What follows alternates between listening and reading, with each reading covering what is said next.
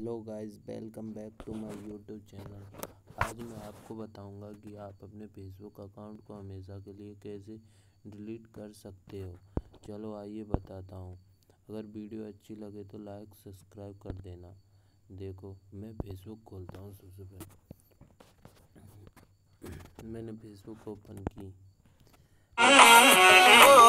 Dot पर click करता हूँ। फिर थ्री डॉट पर क्लिक करने के बाद इस सेटिंग में जाता हूँ। सेटिंग एंड प्राइवेसी में जाना है आपको। फिर फिर आपको फिर फिर फिर से यही दबाना है। फिर सेटिंग दबानी है आपको।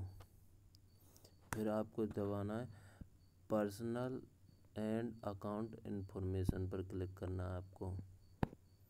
इस पर क्लिक करने के बाद ये बोला अकाउंट ओनरशिप एंड कंट्रोल इस पर दबाना है आपको।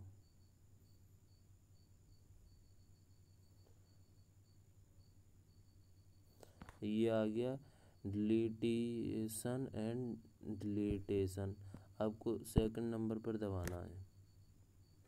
और ये आ गया आपका डिलीट अकाउंट डिलीट अकाउंट पर कर देना। कंटिन्यू टू अकाउंट डिलीटेशंस मैं अपना कंटिन्यू कर देता हूँ।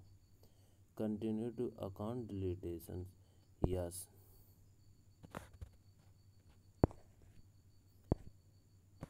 delete account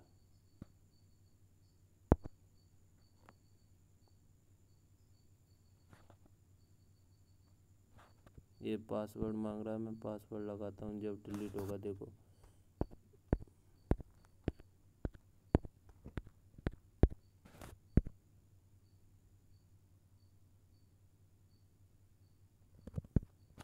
ऐसे अगर आप पासवर्ड लगा देना, जैसे मेरा क्या था पासवर्ड